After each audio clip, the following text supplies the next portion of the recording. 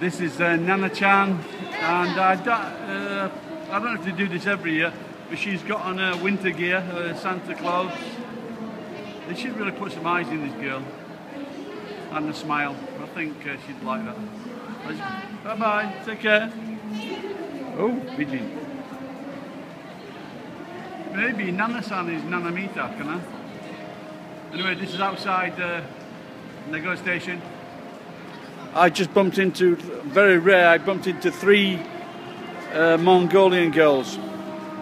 And they helped me with a uh, with a photo shoot. I'll put that up later.